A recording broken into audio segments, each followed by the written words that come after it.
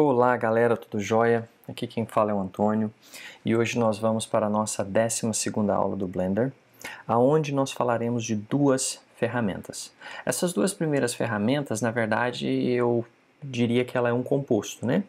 Ah, essa primeira, vamos falar um pouquinho sobre esse composto. A primeira ferramenta é a ferramenta de unir ou fazer join de, de, de elementos, né?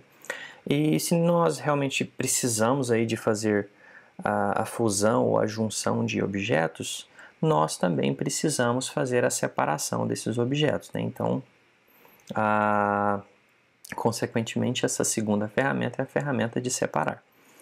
E por final, esse aí é o composto que eu falei, né? por final nós falaremos sobre a ferramenta de bevel, que seria a ferramenta de chanfro, é a ferramenta que ela pega aí é, uma borda, né, e torna essa borda arredondada, né, ela vai ficar mais esférica ou você vai reduzir esse ângulo reto aí para um ângulo que é um pouco mais arredondado, beleza? Ah, nós já temos aqui o Blender aberto, como de costume, né? Eu quero, vou selecionar aqui todos os elementos, mas antes de mais nada, eu quero ativar aqui a visibilidade do meu cursor para que vocês possam acompanhar também. Né? Então, o texto aqui eu amplio a 150, beleza. Né?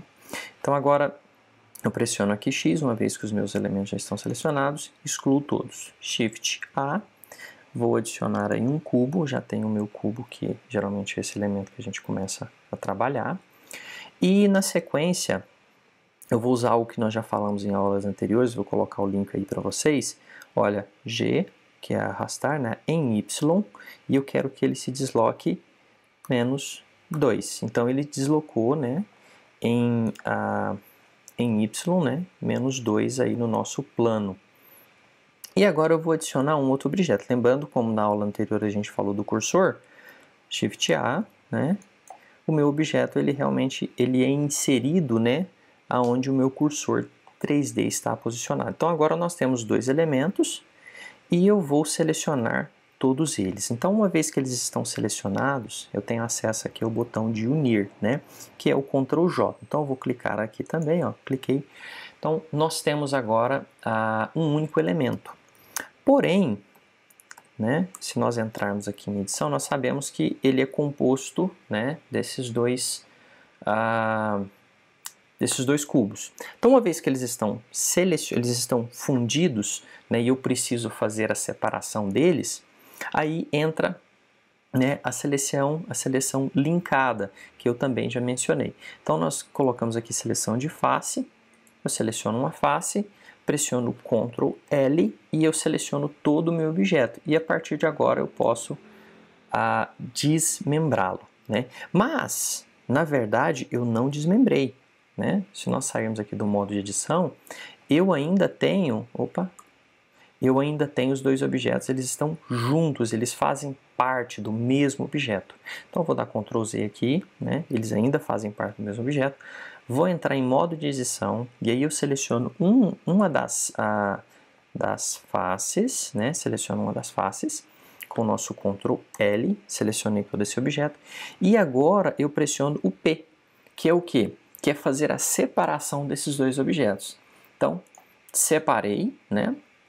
Então, esses dois elementos já não fazem mais parte do mesmo objeto. Ó. Se vocês observarem aqui, eles já estão separados, né? Então, eu posso... Uh, opa! Estou em modo de edição. E, e é interessante lembrar que quem ficou selecionado, né, assim que eu fiz a separação, é o remanescente do objeto e não aquela parte que eu separei. Então, olha, Ops. É porque eu tenho todo ele selecionado, né? Vou ver. Então, se eu selecionar aqui, o Ctrl L, né? Ele sim está separado, certo? Então, se eu sair do meu modo de edição, né? Tem aqui, eu tenho um objeto, né? Tá aqui, entrei em modo de edição de novo. Aqui eu tenho um objeto e aqui eu tenho outro objeto, né? E eles estão eles são realmente, eles não, eles não fazem parte, né, ah, do mesmo, do mesmo componente, tá?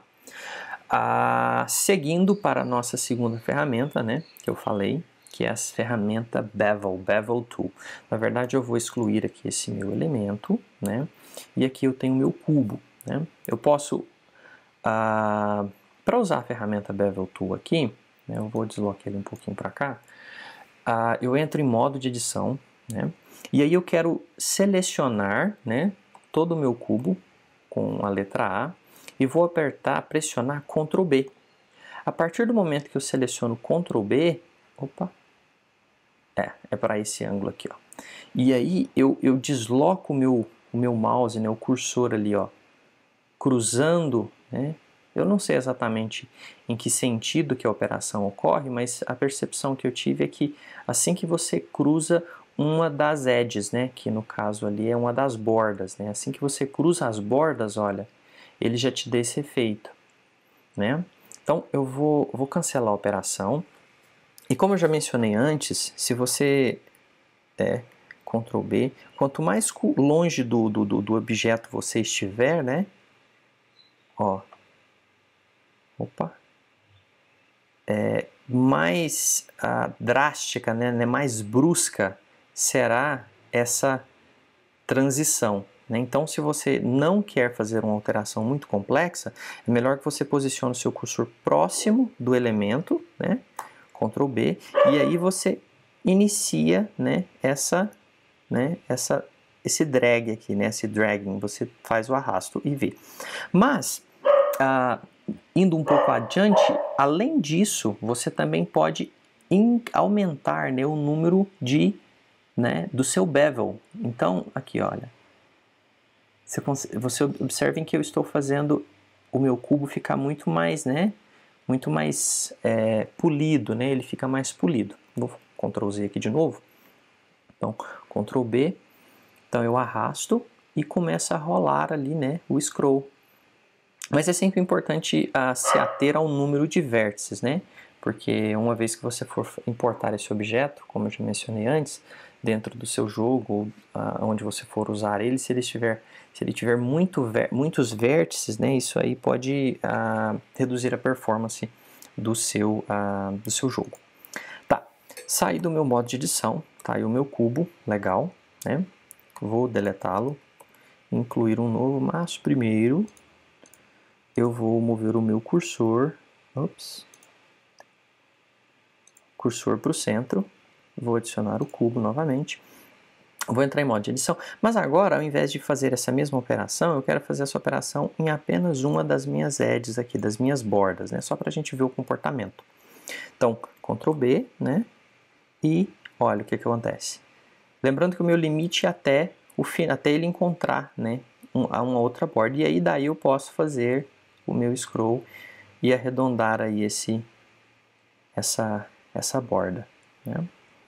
Ah, legal, cliquei com o botão direito aqui para cancelar. Agora vamos, vamos observar aqui o que acontece quando você tem, na verdade, ah, vértices selecionados. Né? Então você ativa de forma diferente, que é Shift Ctrl B. E a partir de agora você faz essa operação, mas né, o mesmo procedimento, só que incluindo o Shift, você faz ela em vértices. Joia? Então, galera, é isso, né? Espero que uh, vocês tenham aprendido algo interessante. Qualquer crítica, sugestão, são qualquer crítica ou sugestão, elas são, são muito bem-vindas, né? Uh, ao passo que vocês me, me, me retornam, né? Esse feedback aí a gente aprende também e cresce, e esse é o propósito, tá? Então, muito obrigado e vejo vocês no próximo vídeo. Abraço, tchau, tchau.